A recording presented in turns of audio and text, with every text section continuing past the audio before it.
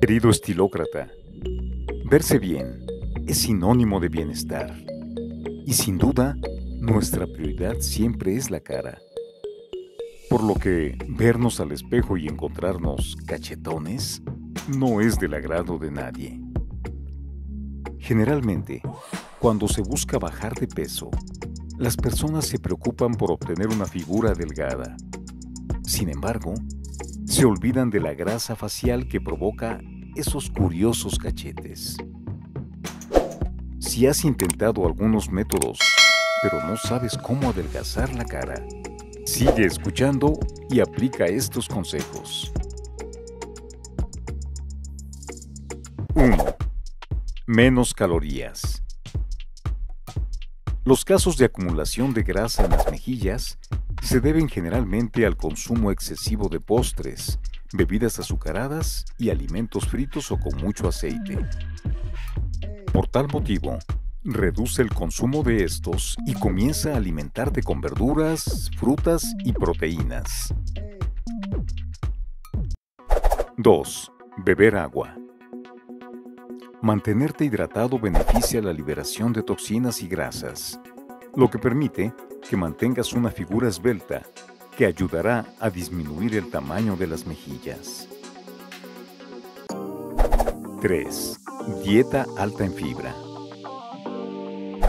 Cuando se sigue una dieta, es fundamental consumir fibras, ya que éstas aceleran el metabolismo que te permite deshacerte de las grasas que no necesitas en tu cuerpo, ya que solo te harán subir de peso.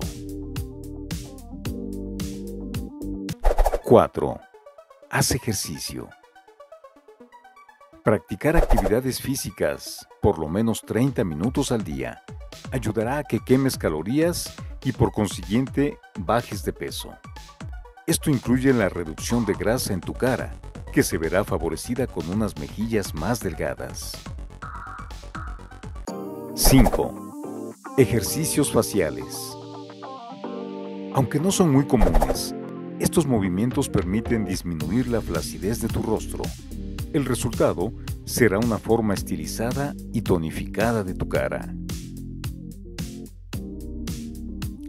Algunos ejercicios faciales que puedes practicar son inflar las mejillas y sostenerlas en ese estado por unos 10 segundos. También puedes sonreír de forma exagerada una y otra vez para estirar la piel. 6. Mascarillas. Este procedimiento complementa a los ejercicios faciales. Puedes usar yogur con avena y miel. Con la mezcla resultante, haz masajes circulares en tu piel que te permiten prevenir la flacidez. 7. Menos alcohol. Tomar bebidas alcohólicas ocasiona inflamación en la cara debido al contenido de calorías y retención importante de líquidos. La recomendación es no abusar de su consumo. Luego de leer estas recomendaciones, ya no tienes que preguntarte cómo adelgazar la cara.